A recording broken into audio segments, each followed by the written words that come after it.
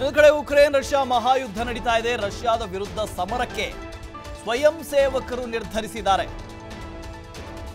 ಐವತ್ತೆರಡು ದೇಶಗಳ ಇಪ್ಪತ್ತು ಸಾವಿರ ಸ್ವಯಂ ಸೇವಕರು ಹೋರಾಟ ಮಾಡ್ತಾರಂತೆ. ಐವತ್ತೆರಡು ದೇಶದ ಇಪ್ಪತ್ತು ಸಾವಿರ ಸ್ವಯಂ ಸೇವಕರು ಉಕ್ರೇನ್ನ ಪರ ಯುದ್ಧ ಭೂಮಿಯಲ್ಲಿ ಹೋರಾಟ ಮಾಡ್ತಾರೆ. ಉಕ್ರೇನ್ ವಿದೇಶಾಂಗ ಸಚಿವ ಡಿಮಿಟ್ರಿ ಕುಲೇವಾ ಹೇಳಿಕೆಯನ್ನು ಕೊಟ್ಟಿದ್ದಾರೆ. ಇದು ಎಷ್ಟರ ಮಟ್ಟಿಗೆ ಸರಿ ಅಂತೇಳಿ ನಮಗೆ ಗೊತ್ತಿಲ್ಲ. ಉಕ್ರೇನ್, ರಷ್ಯಾ ಮಹಾಯುದ್ಧ ನಡೀತಾ ಇದೆ. ಒಂದು ಕಡೆ ಉಕ್ರೇನ್ನ ಸಾಕಷ್ಟು ಸೇನೆಯನ್ನ ರಷ್ಯಾ ಈಗಾಗಲೇ ಹೊಡೆದು ಹಾಕಿದೆ. ಜೊತೆಗೆ ಉಕ್ರೇನ್ನಲ್ಲಿ ಇದ್ದಂಥದ್ದು ಕೂಡ ಅತಿ ಸಣ್ಣದಾದಂಥ ಸೈನ್ಯ. ಒಂದು ಕಡೆ ಬೇರೆ ಬೇರೆ ರಾಷ್ಟ್ರಗಳು ಶಸ್ತ್ರಾಸ್ತ್ರಗಳನ್ನು ಪೂರೈಕೆ ಮಾಡುವಂಥ ನಿಟ್ಟಿನಲ್ಲಿ ಸಹಾಯವನ್ನು ಮಾಡಿದ್ರೆ ಆ ಶಸ್ತ್ರಾಸ್ತ್ರಗಳನ್ನು ಬಳಕೆ ಮಾಡಬೇಕಲ್ವಾ? ಯಾರಾದರೂ ಅದನ್ನು ಉಪಯೋಗ ಮಾಡಬೇಕಲ್ವಾ? ಸೈನಿಕರಾದರೂ ಬೇಕಲ್ಲ, ಆ ಸೈನಿಕರ ಕೊರತೆ ಉಕ್ರೇನ್ನಲ್ಲಿತ್ತು. ಒಂದು ಕಡೆ ಕೇವಲ ಎರಡು ಮೂರು ಸಾವಿರ ಸೈನಿಕರನ್ನು ಮಾತ್ರ ಇಟ್ಕೊಂಡು ಯುದ್ಧ ಭೂಮಿಗೆ ಇಳಿದಂಥ ಉಕ್ರೇನ್ ಸದ್ಯ ಸುಮಾರು ಹತ್ತು ಸಾವಿರ ರಷ್ಯನ್ ಸೈನಿಕರನ್ನು ನಾವು ಕೊಂದು ಹಾಕಿದ್ದೀವಿ. ಹೇಳಿ ಹೇಳ್ಕೊಳ್ತಾ ಇದೆ. ಆದರೆ ಉಕ್ರೇನ್ನಲ್ಲಿ ಅಷ್ಟೊಂದು ಸೈನಿಕ ಬಲ ಇಲ್ಲ, ಸೈನಿಕರಿಲ್ಲ.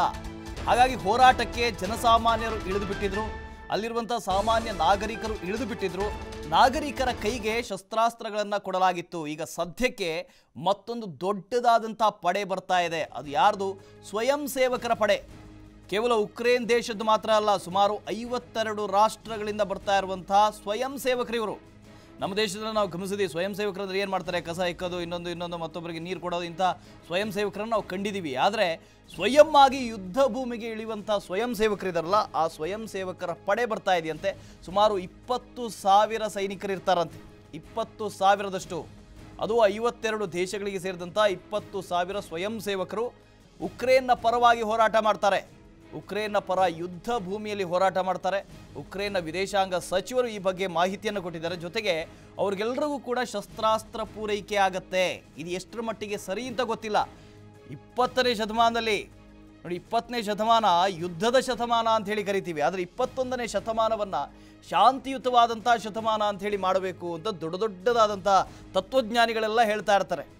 ಪ್ರತಿಯೊಬ್ಬರು ಶಾಂತಿಗೆ ಹೆಚ್ಚಿನ ಮಹತ್ವವನ್ನು ಕೊಡಬೇಕು, ಹಾಗೆ ಹೀಗೆ ಅಂತೇಳಿ. ಆದರೆ ಈ ಇಪ್ಪತ್ತೊಂದನೇ ಶತಮಾನದ ಪ್ರಾರಂಭದಲ್ಲೇ ಯುದ್ಧವನ್ನು ಕಾಣ್ತಾ ಇದ್ವಿ. ಜೊತೆಗೆ ಪ್ರತಿಯೊಬ್ಬ ಸಾರ್ವಜನಿಕರ ಕೈಗೂ ಮದ್ದು ಗುಂಡುಗಳನ್ನು ಕೊಡ್ತೀವಿ, ಶಸ್ತ್ರಾಸ್ತ್ರಗಳನ್ನು ಕೊಡ್ತೀವಿ ಅಂತೇಳಿ ಅನೇಕ ರಾಷ್ಟ್ರಗಳು ಘೋಷಣೆ ಮಾಡ್ತಾ ಇರುವಂಥದ್ದು. ಅದು ಎಷ್ಟರ ಮಟ್ಟಿಗೆ ಸರಿ? ಶಾಂತಿ ಸಭೆಗೋಸ್ಕರ ಯಾರೂ ಇಲ್ಲಿ ಪ್ರಯತ್ನ ಪಡ್ತಾ ಇಲ್ಲ. ಕೇವಲ ಭಾರತವನ್ನು ಬಿಟ್ಟರೆ ಇಲ್ಲಿವರೆಗೆ ಐರೋಪ್ಯ ರಾಷ್ಟ್ರಗಳನ್ನು ನೀವು ಗಮನಿಸ್ಬೋದು, ಅಮೇರಿಕಾವನ್ನು ಗಮನಿಸ್ಬೋದು. ನಾವು ಶಸ್ತ್ರಾಸ್ತ್ರಗಳನ್ನು ಪೂರೈಕೆ ಮಾಡ್ತೀವಿ.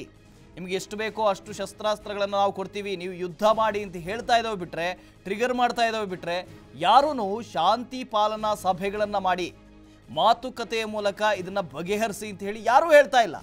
ಭಾರತವನ್ನು ಹೊರತುಪಡಿಸಿ, ಭಾರತ ಇಲ್ಲಿಯವರೆಗೂ ಯುದ್ಧ ಮಾಡಬೇಡಿ. ನಾವು ಯಾರ ಪರವಾಗಿಯೂ ಇಲ್ಲ, ಯುದ್ಧದ ಪರವಾಗಂತೂ ಇಲ್ಲವೇ ಇಲ್ಲ, ಅಹಿಂಸೆಯ ಪರವಾಗಿದ್ದೀವಿ ನಾವು. ಹಿಂಸೆಯ ಪರವಾಗಿಲ್ಲ. ಮಾತುಕತೆಯ ಮೂಲಕ ನಿಮ್ಮ ನಿಮ್ಮ ವಿವಾದಗಳನ್ನು ನೀವು ಬಗೆಹರಿಸಿಕೊಳ್ಳಿ. ಯುದ್ಧ ಬೇಡ ಅಂತೇಳಿ ಹೇಳ್ತಾ ಬರ್ತಾ ಇದೆ. ಆದರೆ ಆ ದೇಶಗಳನ್ನು ಗಮನಿಸ್ತಾ ಹೋದರೆ ಅಲ್ಲಿರುವಂಥ ಸಾಮಾನ್ಯ ನಾಗರಿಕರಿಗೆ ಬಿಡಿ. ಬೇರೆ ಬೇರೆ ರಾಷ್ಟ್ರದ ಸ್ವಯಂ ಸೇವಕರ ಕೈಗೂ ಕೂಡ ಶಸ್ತ್ರಾಸ್ತ್ರಗಳನ್ನು ಕೊಡುವುದಕ್ಕೆ ಸಜ್ಜಾಗಿದ್ದಾವೆ. ಹಾಗಾಗಿ ಈ ಯುದ್ಧ ಇಲ್ಲಿಗೆ ಮುಂದು, ಮುಗಿಯೋದಿಲ್ಲ, ಮುಂದುವರಿಯುತ್ತೆ. ರಣಭೀಕರವಾದಂಥ ಯುದ್ಧ ಇನ್ನು ಮುಂದೆ ಇರುತ್ತೆ.